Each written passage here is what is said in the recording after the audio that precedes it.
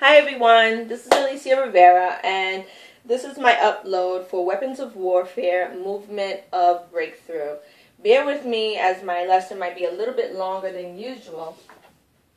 Um, but this particular video really touched me uh, deeply and it just so happened that um, I watched it just before going to a conference and the Lord really um, imparted to me that I needed to do a dance with my daughter. Um, she's eight years old, and when I watched the video, it was confirmation uh, with the scripture that Pastor Lynn gives from Psalms 8 2. Through the praise of children and infants, you have established a stronghold against your enemies to silence the foe and the avenger. So we did um, a, a little dance to Eddie James' Freedom. And the movements are very simple. Um, a lot of it can come from, you know, jazz or um, definitely African movements and modern dance. And the Hebrew words that really um, stuck with me, one was elatz, um, to triumph, to be joyful, rejoice, jump for joy, exult jumping, leaping, gushing, or jetting forth. Um, and uh, as it says in the Dance Dance Dance book, and I'll read that really quick. Um,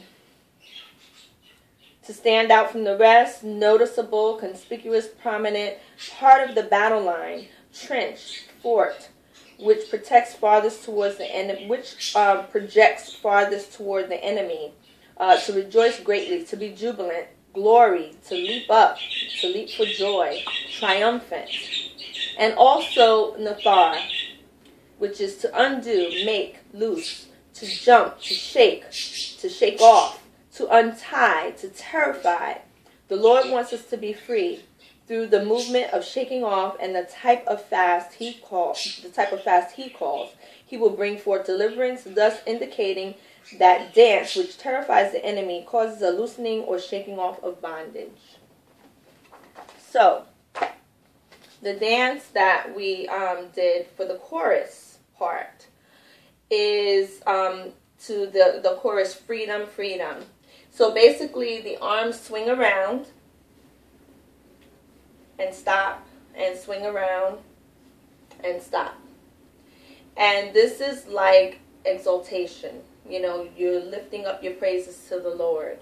Um, we also do a rocking mo- uh, motion, which is up to the Lord, right? And by the way, the round movement is stepping to the side. So it's step to the side, stop, step to the side, stop. And then there's rock, two, three, four. This so this is exaltation unto the Lord.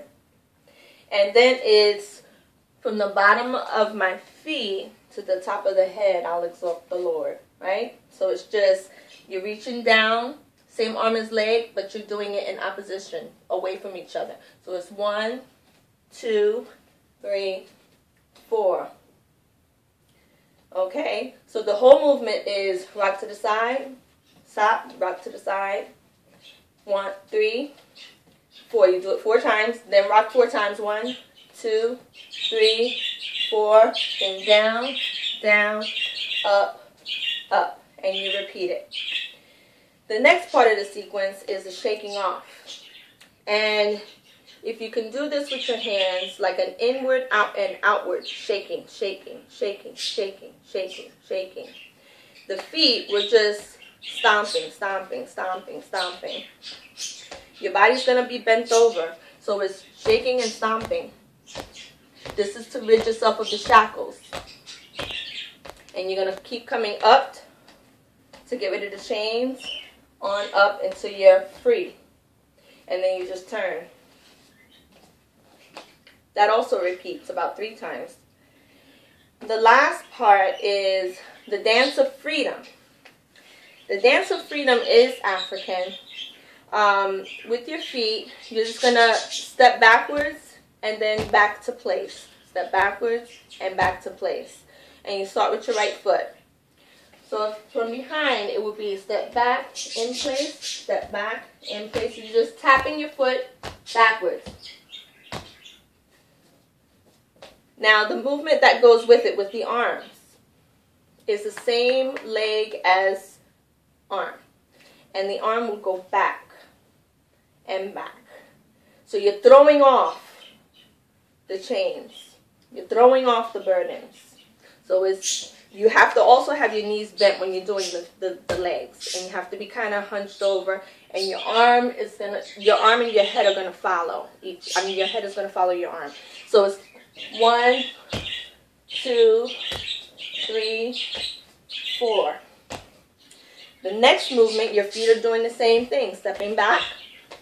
Only your arms are going to change, same arm as leg, but this time you're giving yourself, you're giving your praises to the Lord. And your head is also going up with your arm. And you're also in plie. So you're stepping back, up, in, up, in, up, in, up, in. That's the dance of freedom. The third part of the dance of freedom is throwing up your praises and it's to the side. Your feet are going step to the side, step to the side, step to the side, step to the side. Your arms are just circling like praises unto the Lord, right? Praises unto the Lord. So it's two, two, two, two. So it's this way. Praise the Lord. Praise the Lord. Praise the Lord. Praise the Lord. As the feet and the arms. Your head is also going with your arm. So you're doing it with your entire body. Okay? So the entire um, chorus is circle to the side, stop, circle to the side, stop, circle to the side, stop, circle to the side, and rock. Two, and down, and up, up. The shake sequence is shake, middle, and up. And stop and turn, stop. The dance of freedom is back, two, three, four, front, front, two, three, four, side, one, two, three, four, five, six, seven, eight. So, with music.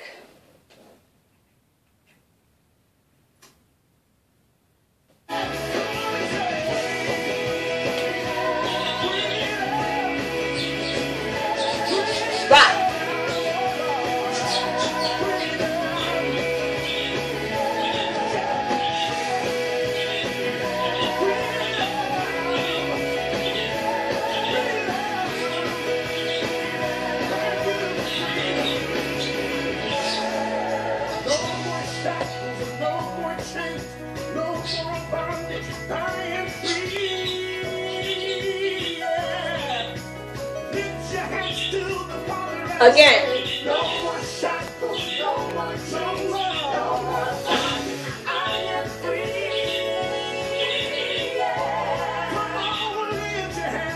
Again.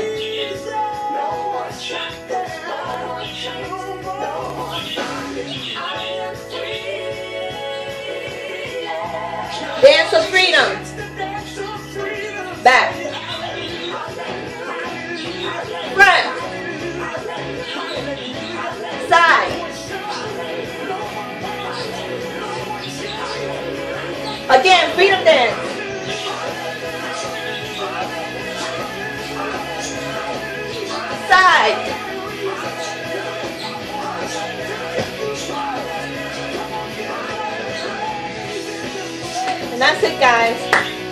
God bless you all.